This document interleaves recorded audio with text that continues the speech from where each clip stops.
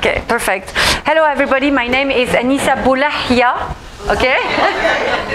that said, Boulahia. for the Arab speakers, it's easy. For the others, get used to it.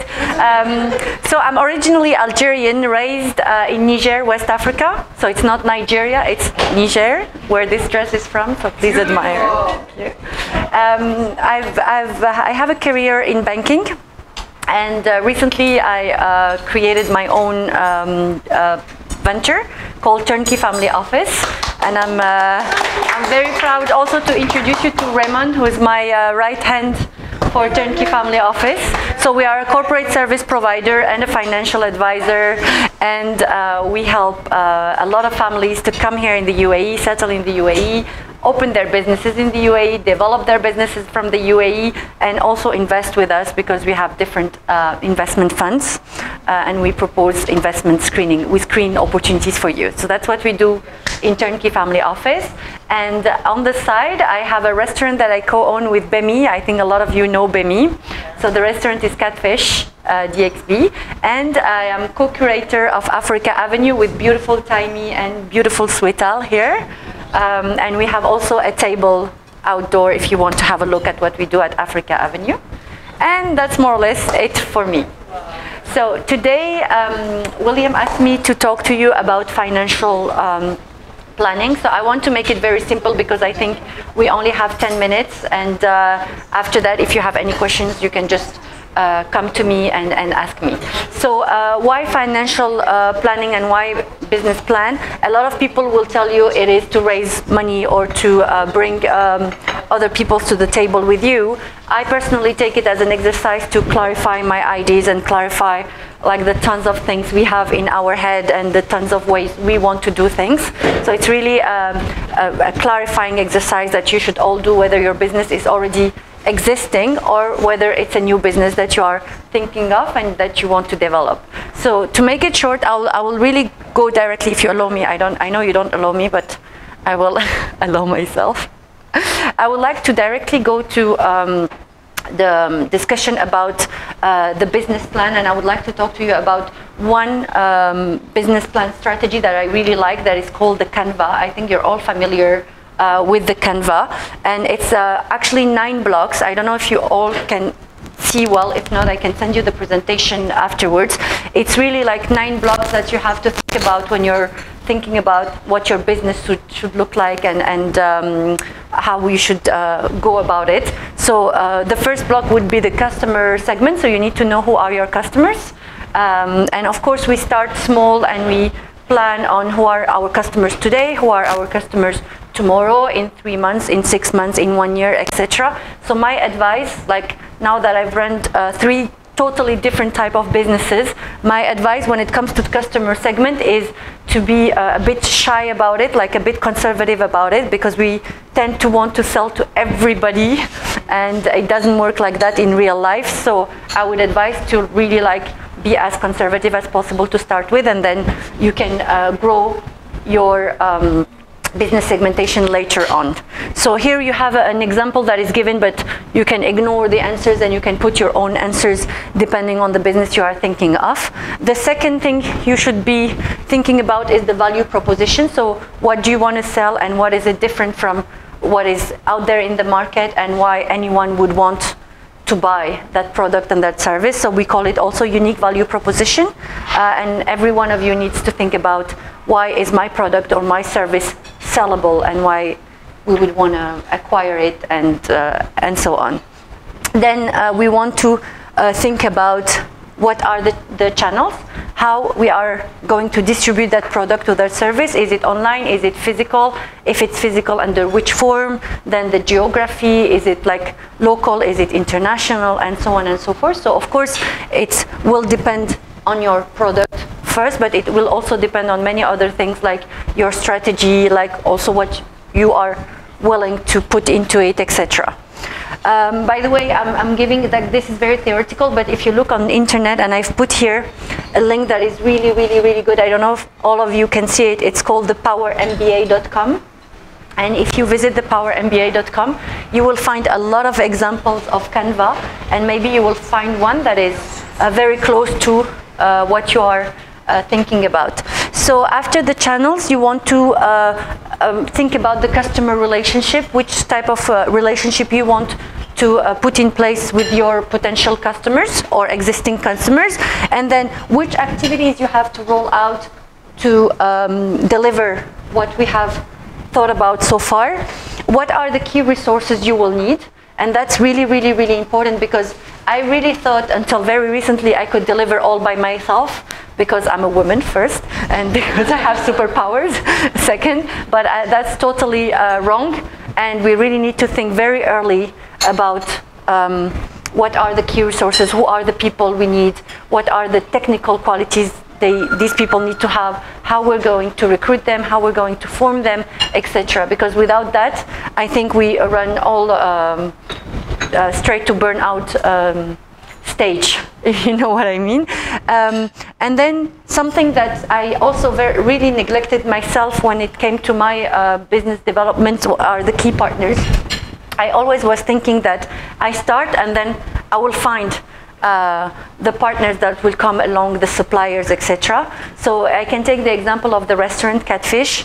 Uh, that's, for example, one of the main mistakes we did when we started. We didn't think enough about this, and when you're developing um, African food uh, and also healing African food, like healthy, balanced African food in Dubai, you can face a lot of issues when it comes to supply, and even more with COVID and with um, uh, the the travels with Nigeria being locked, etc. So the idea was to list all the potential suppliers we could have, and also not just one supplier per product, but potentially like different suppliers, those who can deliver us online, those we have to go and look in the market, and maybe it's in Sharjah market and not in um, in Dubai market because we cannot find it, etc. So really like uh, making a deep analysis of who are, for example, the suppliers that you will need, but not, not only suppliers, because in partners, you don't just have your suppliers, but you have tons of other partners.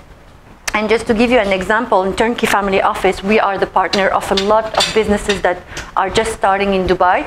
And for example, what they value in us is that they can trust us, that we are knowledgeable, that we deliver on time, that, and so on and so forth. And these businesses we work with are mature businesses in other geographies. So their owners and, and the families behind them, they have that knowledge. So they will come and they will kind of like try to find out who is Turnkey Family Office, who's hiding before, behind Turnkey Family Office, how they will render the services, and so they will do like this due diligence. And you, as business owner, as entrepreneur, as uh, people who want to start a business, you also need to do that due diligence on all your suppliers and your um, key partners because they can ruin what you have created if that's not done uh, properly.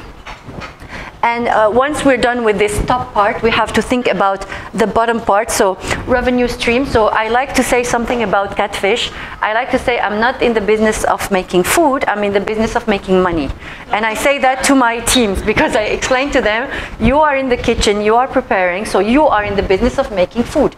I am in the business of making money. If I don't make money, I close and we are all uh, home uh, watching Netflix, right? So that I try to explain to them the difference because they see me as the financial monster, like running after them and trying to make them either work more or save more, and they don't really get it. So uh, that's always what I say, and it's very, very important to see first the revenues. So a mistake a lot of people would do is that they will plan their revenues function of their needs or function of their dreams uh, which often are two different things, and both uh, situations don't work. So you have to um, think about revenue function of what is possible, depending on everything else you have worked on on the top.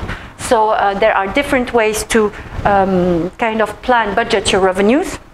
There is the what we call the, the reality test. So you go around and you see people who are in your sector, what they are doing, etc I um, promise you there are so much data, there is so much data available out there. Maybe less in the UAE because we're not yet that mature as a market, but in other jurisdictions for sure. And here I want to give you a little tip. In the UAE, we don't have access to all these platforms with data and examples. And for example, here we don't have to um, make public our balance sheet as an existing company. So the new joiners cannot just go and look and so on. But I have a small tip that I use for myself and that I would advise to anyone is that get yourself an accountant as early as possible in the process and pick an accountant that has in his portfolio businesses like yours. And create a relationship with the accountant, a trust relationship, and try to get the data from him. That's what I did for Catfish. I really didn't know where to go and look for the information to build my business plan. And then I went to a friend of mine who has a restaurant and I said, hey, who's your accountant?